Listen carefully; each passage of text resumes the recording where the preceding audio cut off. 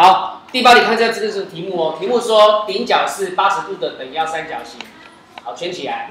然后呢，当我把影片缩小成原来的百分之八十，那么请问你新的三角形的底底角度数是多少？好，这个题目其实很简单，它只问一件事情而已啊。